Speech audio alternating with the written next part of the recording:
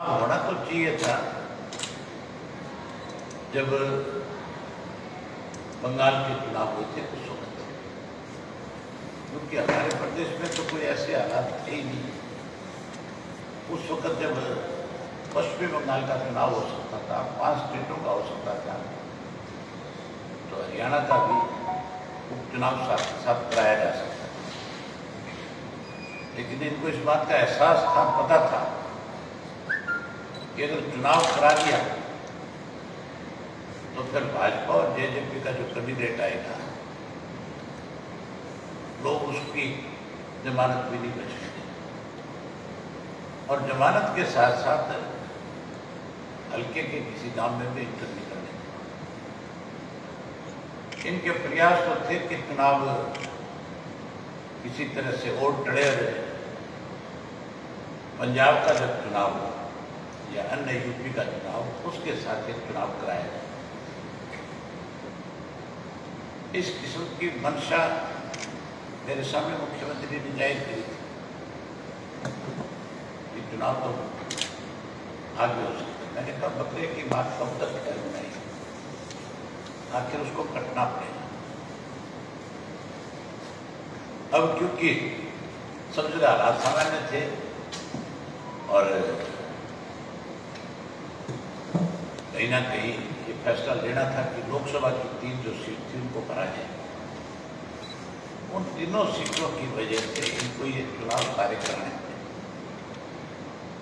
हरियाणा में पीछे इनसे जब पूछा गया सरकार से कि भी आप अपने चीफ सेक्रेटरी की तरफ़ से, सरकार की तरफ़ से एफिडेविट दो कि चुनाव हो सकता है कि नहीं हो सकता तो उन्होंने बाकायदा तौर पे ये एफिडेविट दिया।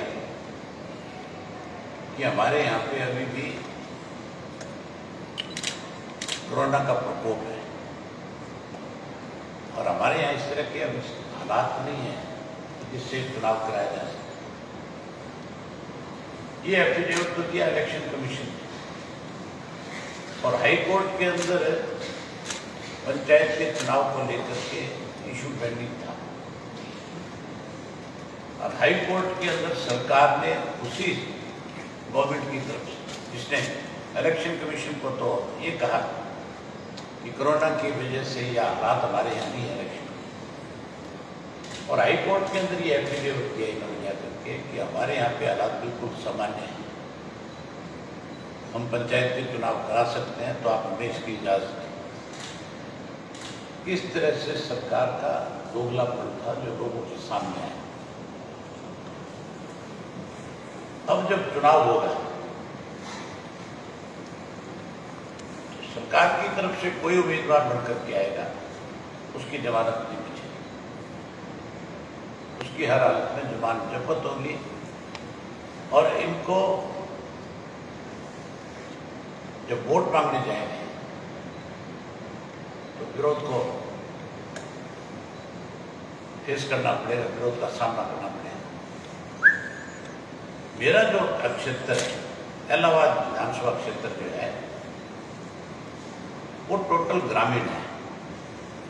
और वहाँ सारे लोग खेती पे निर्भर करने वाले मजदूर है तो खेती पे निर्भर करता है, किसान है तो खेती पे निर्भर करता है। पहले दिन से ही वो लोग कृषि के तीन काले कानून बने थे, उनके खिलाफ थे। और मैं विशेष रूप से मैंने जब अपना डिज़ाइन किया था, मुझे जब किसान संगठनों की तरफ़ से इस तरह के मैसेज थे कि कोई पहल करे इस चीज़ की तो मैं अपने विधानसभा क्षेत्र में गया, जाकर के मैंने लोगों से खुल करके पूछा था कि तुम इन तीन काले कानूनों के पक्ष में और खिलाफ हो हर गाँव के अंदर बड़ी संख्या महिलाएँ आए, नौजवान बच्चे आए, बड़े बुज़ुर्ग आए। उन्होंने खूब खुल करके ये कहा कि हम नहीं चाहते कि कृषि के दिनों काले कानून रहे ये खत्म होनी चाहिए। तो मैंने कहा भी, सरकार पे दबाव बढ़ाने के लिए, इसके लिए मैं पहल करना चाहता हूँ। मेरी रगों में चौधरी देवीलाल का खून है। चौधरी देवीलाल जब किसान की कोई भी अनदेखी करता था, वो चाहे किसी भी पद पद पे होते थे वो उस पद को छोड़ देते थे। मैंने उनसे पूछा कि क्या आप चाहते हो कि मैं चौधरी देवीलाल के दिखाए हुए रस्ते पर चलूँ? क्योंकि मैं उस पार्टी से विधायक हूँ। जिस पार्टी का पौधा चौधरी देवीलाल ने लगाया। और अगर आज मैं कोई इस तरह का फैसला नहीं लूँगा। तो कल को लोग ये कहेंगे कि चौधरी देवीलाल की पार्टी से संबंध रखने वाला व्यक्ति आज किसानों की हितों की लड़ाई लड़ने की बजाय कहीं अपना देख हैं। मुझे लोगों ने कहा कि आप जो फैसला लोगे हम आपके साथ मैंने वही उनसे पूछ लिया कि मुझे इस्तीफा देना चाहिए कि नहीं देना चाहिए। लोगों की तरफ़ से भी खुल के आवाज़ आई थी कि आपको इस्तीफा दे देना चाहिए। मैंने हल्के के एक एक व्यक्ति से पूछ करके रिजाइन किया। और मेरे रिजाइन करने का आंदोलन पे असर पड़ा। उस वक्त इस किस्म के हालात पैदा हो गए थे कि जेजेपी के, बीजेपी के भी बहुत से लोग जो ग्रामीणांचल से जीत करके आए थे, उनको इस बात का दबाव पड़ना शुरू गया था कि आप ये इस्तीफा दो अगर उस वक्त मेरे साथ कांग्रेस के लोग इस्तीफा दे देते तो आज उपचुनाव नहीं, आज मध्यवर्ती चुनाव क्योंकि अगर इकतीस बत्तीस एम एल इकट्ठे इस्तीफा दे तो फिर जो उन दिनों में विचित हुए विधायक थे, बीजेपी की, जेजेपी की वो भी दबाव में आ जाते वो भी इस्तीफा देते ये सरकार चली जाती ये सरकार बचती इस सरकार को बचाने वाला ऑक्सीजन देने वाली तो कांग्रेस पार्टी है, बंदर सिंह हुड्डा है, जिसने नो कॉन्फिडेंस मूव करके उन विधायकों का डर निकाल दिया, जिनको ये डर था कि जो इस दबाव में आए हुए थे, जो इस्तीफा देना चाहते थे, उनका डर निकल गया कि अब तो छः महीने इसको ऑक्सीजन के लिए छः महीने सरकार नहीं जाएगी। तो तुम क्यों जल्दी कर लेकिन अब कांग्रेस जब आ जाएगी, उन लोगों के बीच में वोट मांगने तो उनको भी लोगों के सवालों का सामना करना पड़ेगा कि अब आप किस मुँह से यहाँ वोट मांगने जब अभय सिंह ने इस्तीफा दिया था, तब तुमने भी अपनी तरफ़ से इस्तीफे की पेशकश क्यों नहीं की? अगर तुम पेशकश करते तो आज ये सरकार सत्ता भी नहीं होती। आज मध्यवर्ती चुनाव होता है और किसानों की देशी सरकार इस प्रदेश में बन जाती इस चुनाव से प्रदेश के बहुत समीकरण बदलेंगे जैसा मैंने आपसे 25 सितंबर की रैली के लिए कहा था, समान दिवस समारोह में ऐसे ऐसे लोग आएँगे चौधरी देवदास को अपनी श्रद्धा सुमन अर्पित करने के लिए, जिससे लोग आश्चर्यचकित हो जाएँगे। और मैंने जो कहा था, वो हुआ वहाँ अब इस चुनाव की डेट तय होगी इसके नामांकन पत्र भरने दो। इसके विड्राल होने दो। फिर आप देखना किस तरह से बदल बसती फिर ऐसे हालात बनेंगे। कि आप अपनी कलम से लिखोगे और कहोगे कि अब सरकार जाने के कगार पे आकर के खड़ी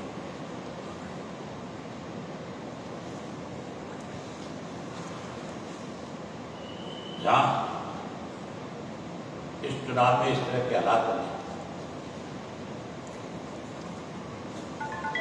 कहीं पे कुछ लोग इस इलेक्शन के ऊपर अपनी टिप्पणियाँ दे रहे हैं।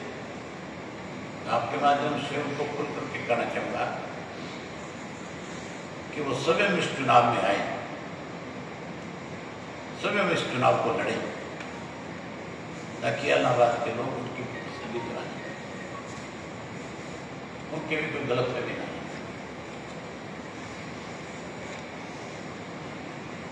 ज़ाहिर इलाहाबाद में चुनाव के लिए आपसे चर्चा करी वहीं आपके माध्यम से प्रदेश के उन लोगों का आभार व्यक्त करता हूँ, जो लाखों की संख्या में इकट्ठे होकर के चौधरी देवलाल जी की जयंती अपने श्रद्धा सुमन अर्पित करने आए थे।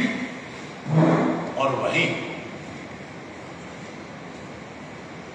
उन लोगों को भी एक सबक देने आए थे, उन लोगों को भी साफ़ संदेश देने आए थे, जिन्होंने हमारी पार्टी को कमज़ोर करने के लिए षड्यंत्र रचे। उनको ये संदेश दे दिया कि तुम मिट्टी हो जाओगे इंडियन नेशनल लोकल पार्टी जो है शिखर पे आकर पच्चीस तारीख को लाखों की संख्या में आकर के उन्होंने ये दोबारा मोर लगा दी कि इंडियन नेशनल लोकल पार्टी ठीक है कि आज विधानसभा में उसके सदस्य नहीं लेकिन लोगों के दिलों पे आज भी इंडियन नेशनल लोकल पार्टी का राज है। ये संदेश पूर्ण रूप से 25 सितंबर को हरियाणा प्रदेश की जनता ने लोगों को दे दी। वहीं वहीं आभार व्यक्त करूँगा आपके माध्यम से पार्टी के एक कार्यकर्ता का, जिनको मैंने खुलकर करके पच्चीस सितंबर को ये कहा था कि 27 तारीख का भारत बंद जो है, जो किसान कर रहे हैं, किसान मोर्चा का जो मैसेज है आपने उसमें हिस्सा लेना है और आपने उस बंद को पूर्ण रूप से सफल बनाना है। हमारा एक एक कार्यकर्ता, जहाँ जहाँ पे भी था, जहाँ जहाँ बंद का आयोजन था, उसमें बड़ी संख्या में पहुँचा और उसने अपनी पूरी जिम्मेवारी निभाई, उसके लिए उस सबका भी हमारा इस उपचुनाव के बाद प्रदेश भाजपा अध्यक्ष का एक बयान आया कि ये चुनाव जो है इनैलो इनैलो के लिए एक बड़ी चुनौती है और बीजेपी जेजेपी के लिए अवसर है। वो अवसर कैसे मानते हो। चुनौती को चुनौती तो लोगों की है।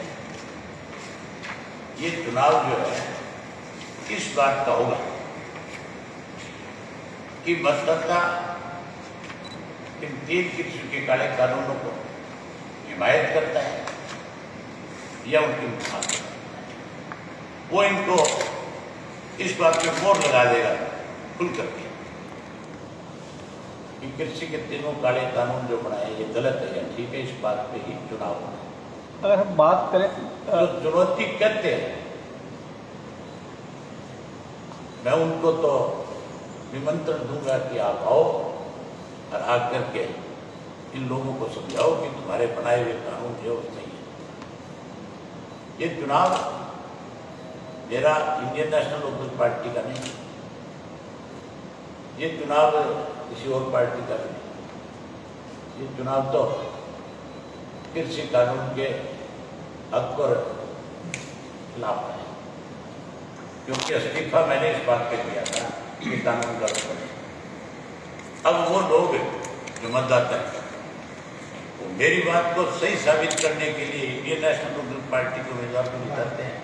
या किसी और के पक्ष में वोट आते हैं। फैसला है अनिल जी अभी ये तो- कहा है भाजपा प्रदेश अध्यक्ष ने कि जो उम्मीदवार है वो जेजेपी और बीजेपी के गठबंधन का होगा। लेकिन बड़ौदा उपचुनाव में उन्होंने भाजपा के ही समर्थित उम्मीदवार को उतारा था। तो आप क्या कहेंगे कि जो यहाँ पर यालनाबाद में जेजेपी का उम्मीदवार आपके सामने होना चाहिए क्योंकि आपकी मुखालफत की राजनीति जेजेपी कर रही है। उनके अध्यक्ष चुनाव आ गए थे, मंत्री रहते चुनाव। अब उनके लिए अच्छा मौका है। उपचुनाव हो रहा है वो आकर के लड़े। उनको अपनी पार्टी की लोकप्रियता पे इतना ही घमंड है। तो आए और चुनाव लड़े। कोई भी चुनाव लड़े जब मुख्यमंत्री सभी लड़े, ये फैसला वहाँ की जनता करेगी। पच्चीस सितंबर का आपने निमंत्रण दिया था तो चौधरी वीरेंद्र सिंह की बात करें, उनको उन्होंने स्वीकार किया आए और आगे कोई निमंत्रण है कैसे चुनाव में चुनाव में? मैं बिल्कुल उनको इस बात का निमंत्रण दूँगा कि अगर आप किसान के हितैषी हैं, आप चाहते हो कि कृषि के काले कानून गलत बने तो मैं उन उनको नहीं, मैं उन सब नेताओं को निमंत्रण दूँगा जो इन कानूनों के खिलाफ हैं। और उनसे कहूँगा कि अब आओ हर आकर के खुल करके इस किसान की लड़ाई को नहीं लड़ना ये फैसला तीन तारीख को होगा। तीन तारीख को मैंने हल्के की मीटिंग बुलाई। और मुझे लगता है कि उस मीटिंग के अंदर हज़ारों की संख्या में लोग आए वो लोगों पे हम छोड़ देंगे वो फैसला करेंगे कि कौन चुनाव लड़े। जिसका नाम वो तय करेंगे हम उसी को चुनाव लड़ेंगे। इलाहाबाद की जनता फैसला करेगी पार्टी के इलाहाबाद की जनता फैसला करेगी। क्योंकि इलाहाबाद की जनता ने ही मेरे इस्तीफे का फैसला किया और वही फैसला करेंगे कि कौन चुनाव लड़े। उपचुनाव के लिए क्या तीनों कृषि कानून भी मुद्दे होंगे या और जो प्रदेश सरकार सात सालों में प्रदेश में जो कुछ चल रहा है? एक ही मुद्दा है मैंने इस्तीफा इस बात में दिया था ये कानून गलत बने हैं। इन्हीं मुद्दों के ऊपर इस चुनाव को लड़ेंगे। इसी को ही लेकर के लोगों के बीच में जाएँगे। क्या दुष्यंत के साथ किसी तरह का मर्जर या किसी तरह की बातचीत की कोई संभावना है किसकी? जेजेपी। किसके साथ? दुष्यंत दुष्यंत के साथ। किसके साथ? आपकी पार्टी के मतलब आपकी पार्टी का। मतलब फ्यूचर में मेरी मुझे लगता है आपके पास सवाल खत्म हो गए।